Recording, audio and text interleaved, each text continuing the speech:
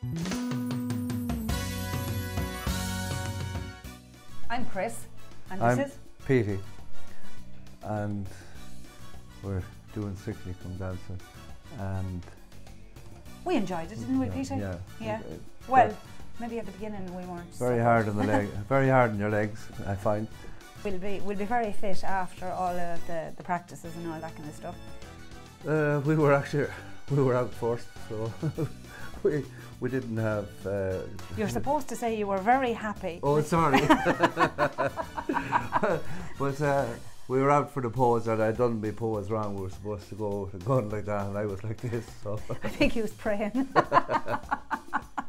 There's no um, set winners, I suppose, yet. It all depends on the votes on the night. So don't take it for granted. Um, if whoever you want to vote for, you need to put those votes down uh, to get your act through, whoever that might be. I think we'll be in the last five. Oh, think positively. Think positively. Well,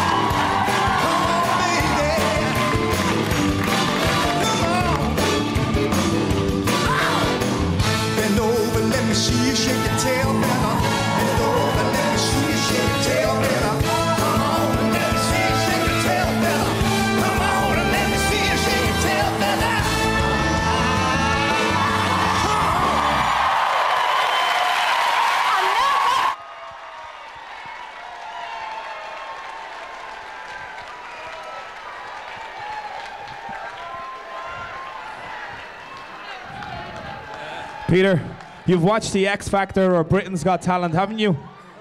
The answer is yes, you have. Do you know what happens when somebody performs really, really well? Normally, what happens is the judges stand on her feet. As soon as you nailed that last move, Kat was up on her feet. She sat back down. She turned to Enda and she said a number. Okay, not going to tell you what the number was. She said, but you're going to find out very, very quickly. I think we have a couple of posters over here as well. Have we?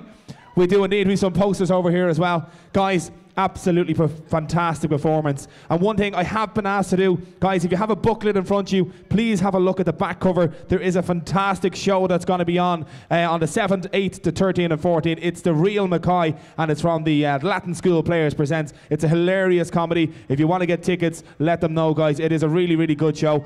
And I'll say it a few more times as well, okay? Okay, come on over this way, guys. Just stand here for me if you don't mind, on that white spot there. Excellent stuff. That gave you a minute to get your breath back, Peter, didn't it?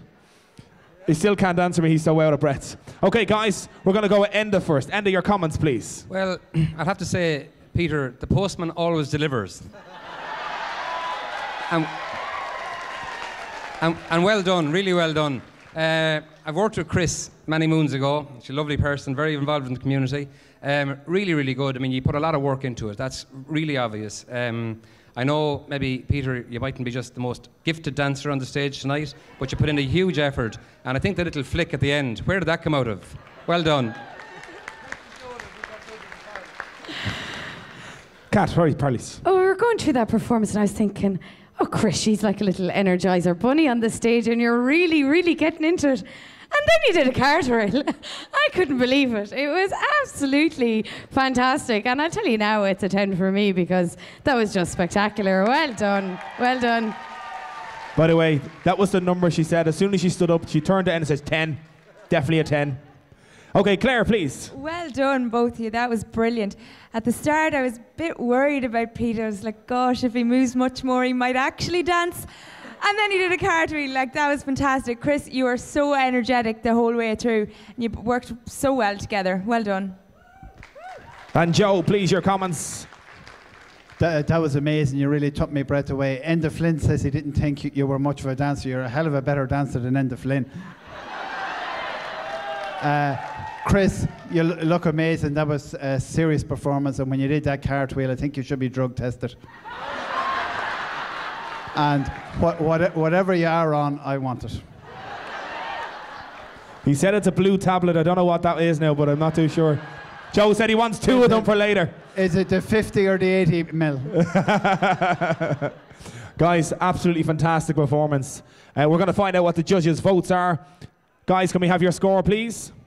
10, 9, and 9. We have a score of a total of 38 points. And one other thing, folks, Peter, do you know what happened when you came on stage? They call it in showbiz a Susan Boyle moment. You walked on stage and he went, oh, this is going to be, oh, not too sure about this. And then you surprise the hell out of everybody in the audience and put on a show like that. Give them a big round of applause. It is, of course, Peter and the fabulous Chris, who were couple number 18 dancing the jive.